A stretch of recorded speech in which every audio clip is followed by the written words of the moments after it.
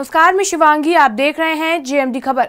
उत्तर प्रदेश में कोरोना के नियमों का उल्लंघन करने वालों पर लगातार सख्ती बढ़ती जा रही है। वहीं संबल ज़िले में अनावश्यक रूप से बाहर घूम रहे लोगों पर धारा 188 के तहत मुकदमे दर्ज किए जा रहे हैं तो वहीं चालान भरवाने की प्रक्रिया भी जोरों पर है।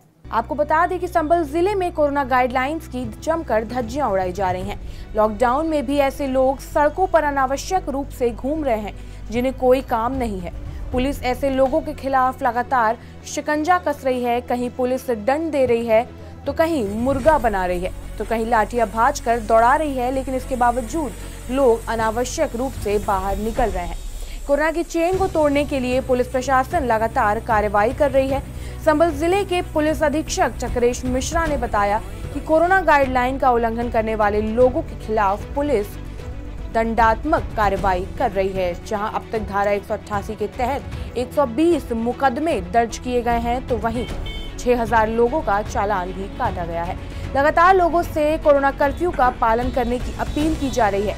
एसपी चक्रेश मिश्रा ने एक बार फिर संभल ज़िले के लोगों से अपील करते हुए कहा है कि सभी लोग घरों पर रहें, बेवजह घर से बाहर नहीं निकले।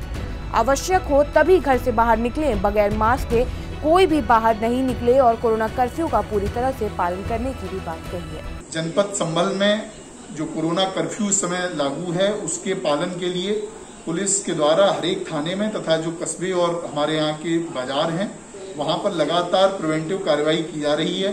अभी तक लगभग 120 मामलों में धारा 188 के अंतर्गत मुकदमा पंजीकृत किया गया है और करीब 6000 लोगों का चालान किया गया है। मैं जनता से ये अनुरोध करना चाहता हूँ कि आप सभी लोग कोरोना महामारी के विरुद्ध इस लड़ाई में समाज व पुलिस का साथ दें, बिना मास्क के घर से बाहर ना निकलें और जब बहुत ही ज़रूरी हो तभी बाहर जाएँ। जिन लोगों को आवश्यक कार्य हैं, वो उस कार्य का प्रमाण, जैसे कि दवा की पर्ची अथवा अन्य इस तरह के डॉक्यूमेंट साथ लेकर चलें। धन्यवाद।